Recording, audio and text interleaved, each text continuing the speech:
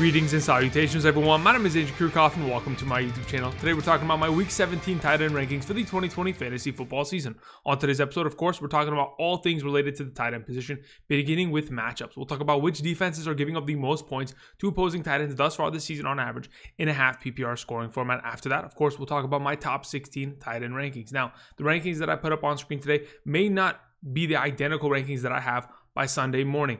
Every single game this upcoming week will be on Sunday, uh, of course, to kind of prepare everybody for the following week, the NFL playoffs. But either way, the rankings that present on you know today's screen may not be identical because there are many players every single day as we progress through the week that are not only popping up on the injury report or potentially being deemed out for this upcoming weekend's games. I mean, even yesterday, I didn't even realize that Ben Roethlisberger would already have been the, he deemed out for week 17. And I was talking about Juju and Diontae Johnson having huge weeks. I mean, with Mason Rudolph, that's not the case. It's just not the case at all. Even with Eric Ebron, he won't be on today's list because of the absence of a quarterback in that offense because Mason Rudolph, I can assure you, is not a good quarterback.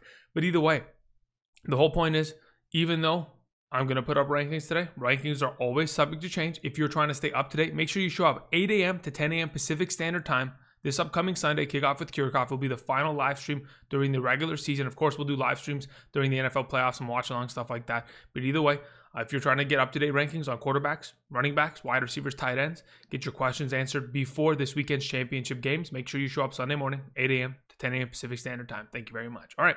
Again, I want to thank you guys for your incredible support, specifically those of you who have still continued to come out here, even when you're not in a championship game. For those of you who are just coming out to say what's up, to leave a like button, to just view, comment down below. I really do appreciate you. Uh, for those of you who continue to support the channel, thank you very much. If you have not yet already, click the subscribe button, join the community. We are on our way to continuing to grow this channel to bigger and better things to get me to at least get more and more help you know, in terms of supporting the channel, uh, the more help we can get, the the better. So either way, thank you guys. I appreciate that. Make sure you comment down below, leave a like uh, down below. Really do appreciate it. All right.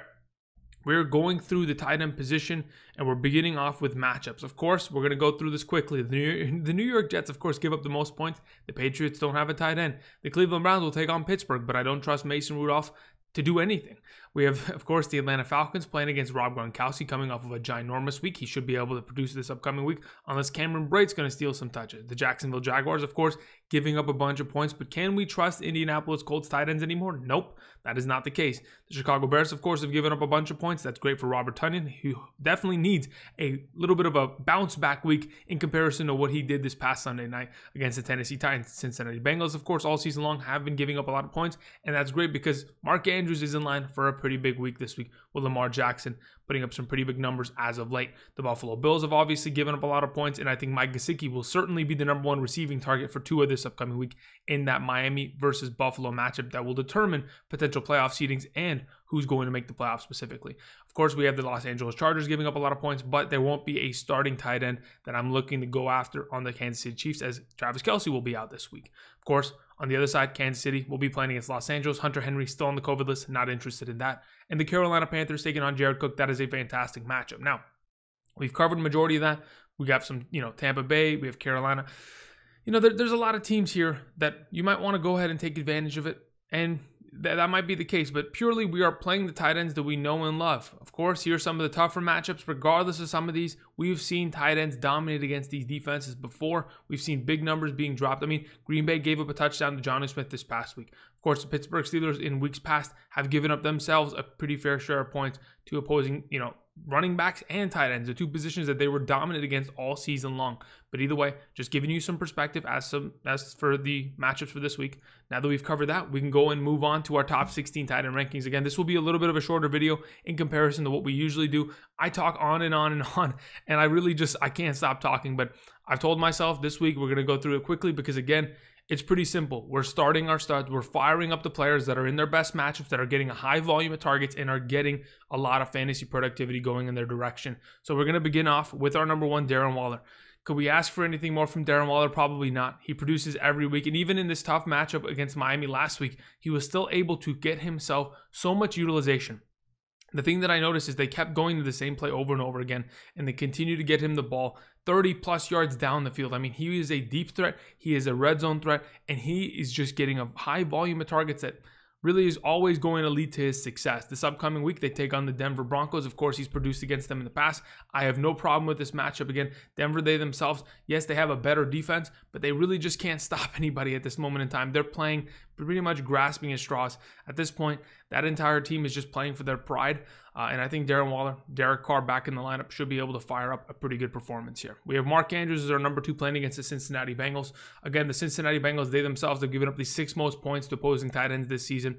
Uh, just this past week, we saw Darren Fells make a, n- a nice appearance for the Houston Texans, scoring a touchdown. That's how you know the Cincinnati Bengals give up points to the tight end position when a guy like Darren Fells is coming out of nowhere and scoring points. That's how you know that defensive coordinators, or specifically offensive coordinators, are keying in on going after the Cincinnati Bengals linebackers and safeties because they are not able to cover.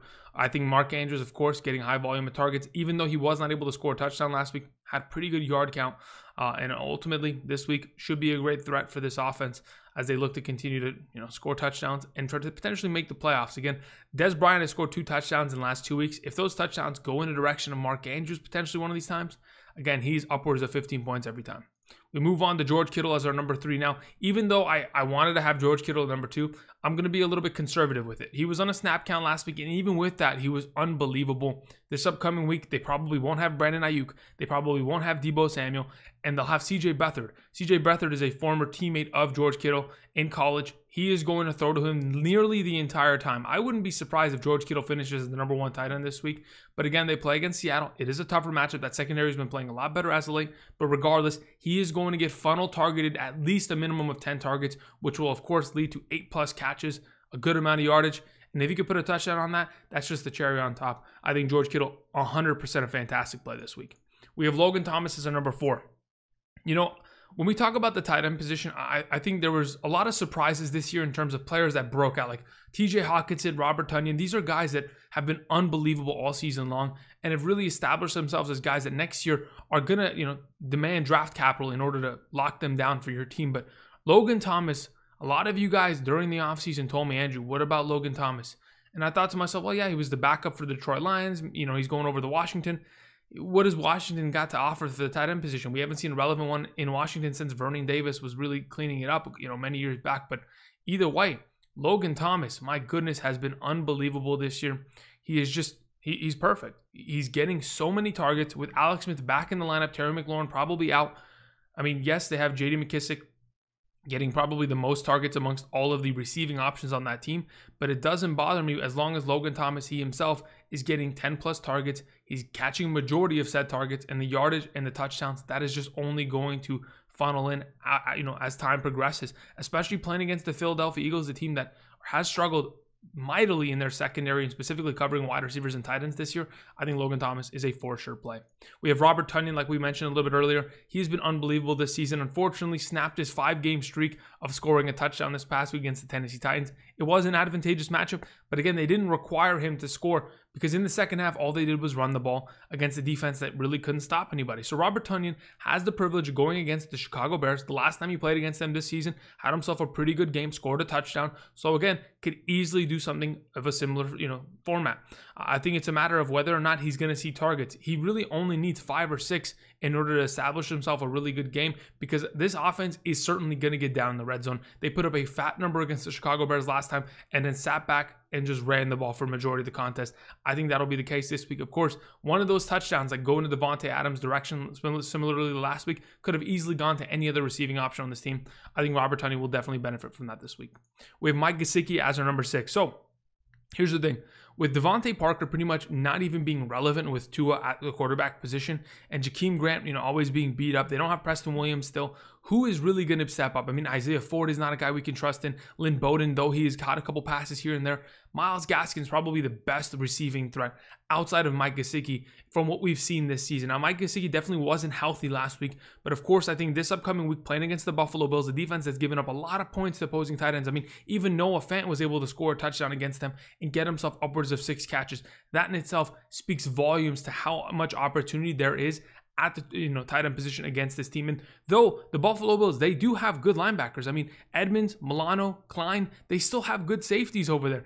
And still, they're giving up a bunch of points. Mike Gesicki's typically been in this last, you know, four to five weeks of this offense, the number one threat. So I think they'll go back to the well he should have himself a pretty good week.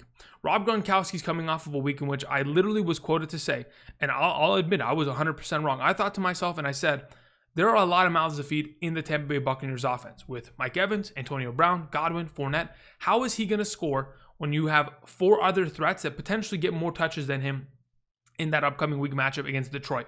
And was I wrong? Rob Gronkowski came out, scored a touchdown in the first half, then went ahead and had his touchdown in the second half. I mean, I mean, you can't ask for anything more than that. I mean, Gronk has been absolutely insane this season, coming out of retirement, putting up fat numbers, gets to take on the Atlanta Falcons that are giving up again some of the most points to the opposing tight end position. Of course, the last time these two teams played, Cameron Brate played a little bit more of a role in that uh, offense and got himself more targets and receptions.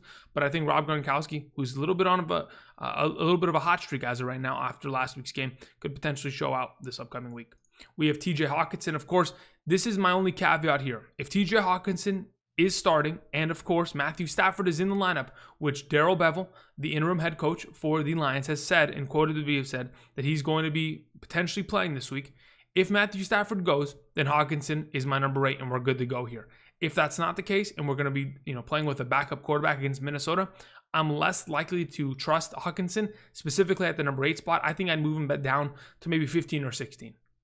So again, I think Hockenson if in fact he's you know accompanied by a Matthew Stafford getting himself seven, eight potential plus targets, he's going to get himself obviously work down in the red zone without Kenny Golladay there. A lot of the work has gone to TJ Hockenson this season, and I think he'll continue to progress and continue to get better. It's just a matter of who's playing quarterback this week for the Detroit Lions.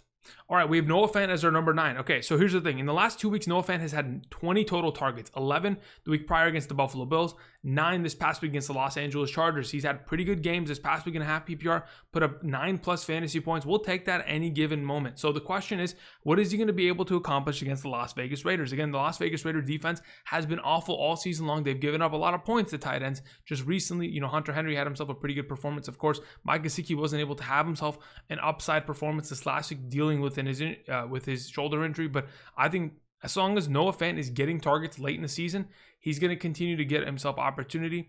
And as long as Drew Lock's comfortable with it, this offense with Pat Shurmur as their offense coordinator is going to continue to throw the ball in that direction.